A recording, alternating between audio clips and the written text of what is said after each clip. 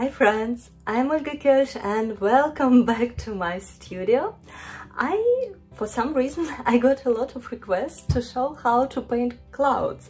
Um, although I'm mostly painting flowers, but I, sometimes I really like to paint landscapes and I'm very happy to share you today how I'm painting clouds and I hope you will find this uh, method uh, nice and relaxing and you will get nice results at the end.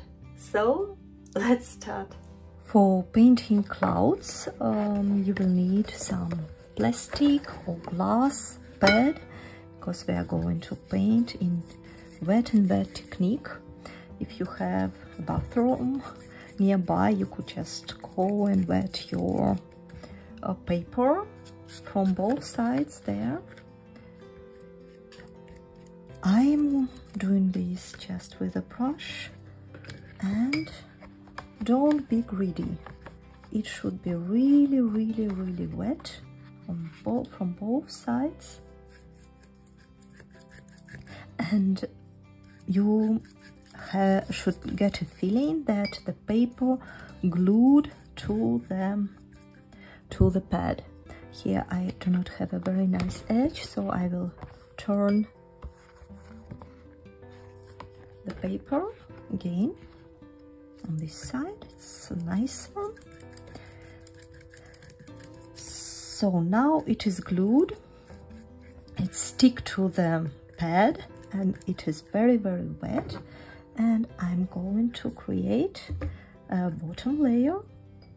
You probably expect uh, clouds to be white but uh, first of all in the nature it's not so much of really white color it always have a lot of shades and second it's add some artistic idea to to the painting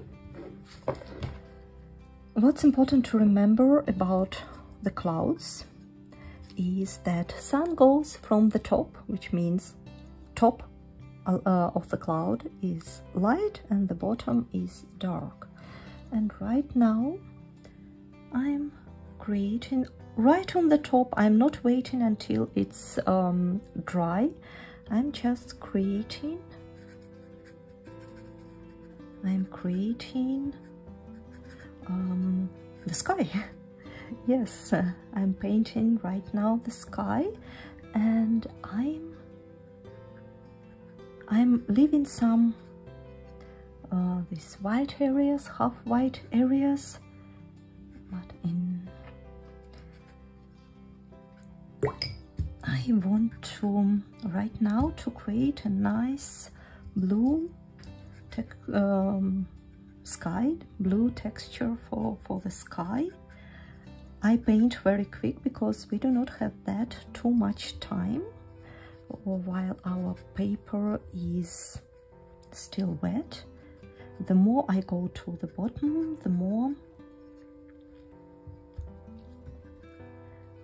darker I use the colors. I paint, I create texture with different sides of the brush to make it nicer interesting.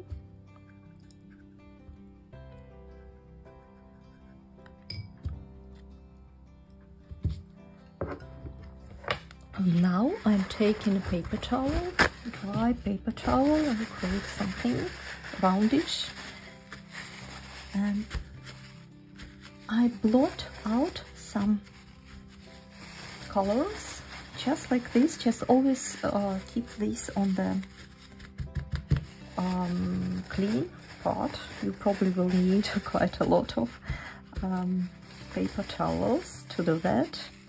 So I'm starting with big areas to create these fluffy fluffy clouds.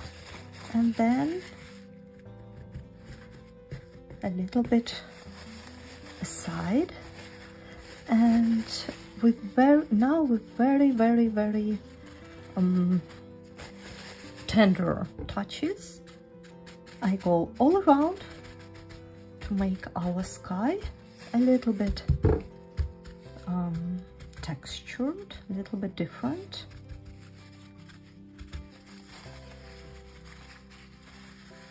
Um, if you would like to make some spots, just put, dress your finger in the paper towel and that help you will help you to control the tipping. Best way is just to tip like this. Always try to change, exchange for something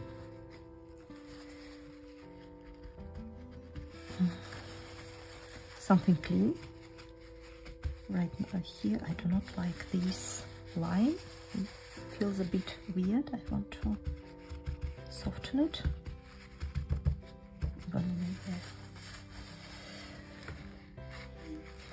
And this, this is very very weird spot which also needs to be removed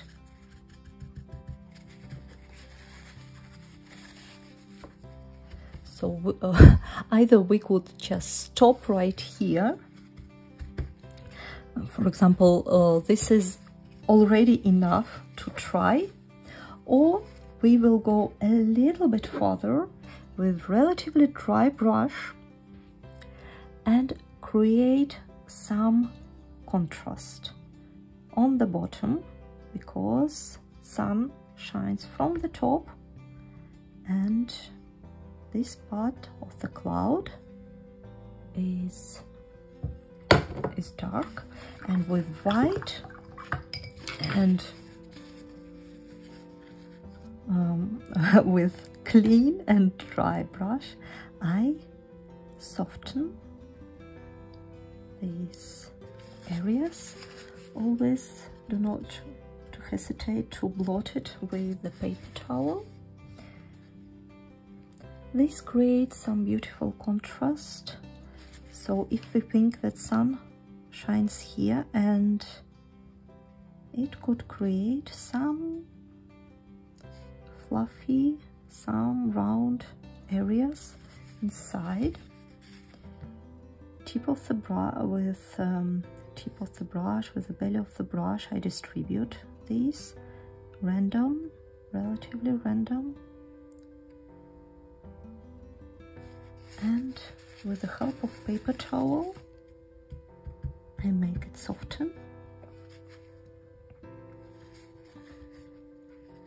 It's just to create this volume of the clouds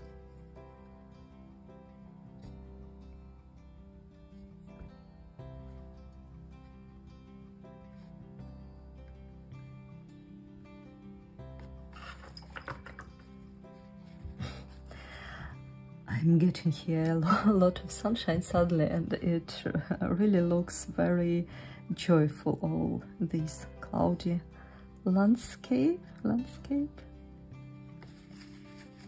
Paper towel.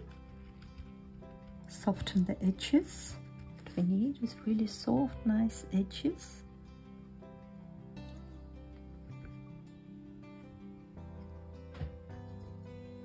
try not to use too much water uh, right now on your brush uh, because the paper um, starts to dry and it's um, it could create um, these weird blocks around. Take another paper towel to control. Your moves more I just rest your finger in the paper towel go around. Just like this. It's um, it's a little bit too geometric to to round. I want to try to remove it. I hope it was not wrong decision because the paper is really getting dry here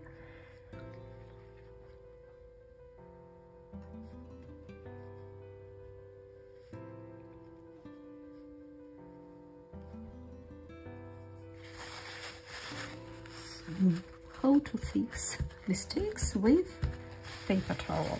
It's, it's one of your best friends when you paint in watercolor. Because um, it really, really helps to correct a lot of things.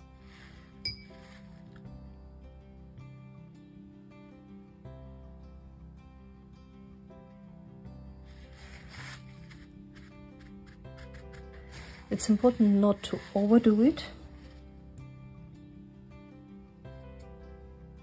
and not to go now with too much water.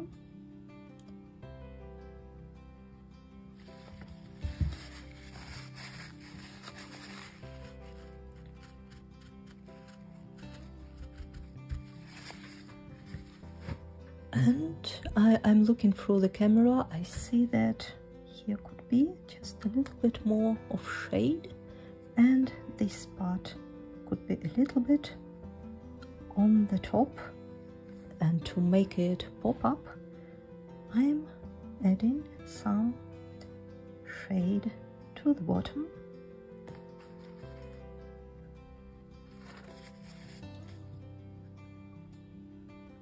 With very very gentle move. Now it's very important try not to disturb the um, the color which is already into into the paper. And it's very important to stop at the right moment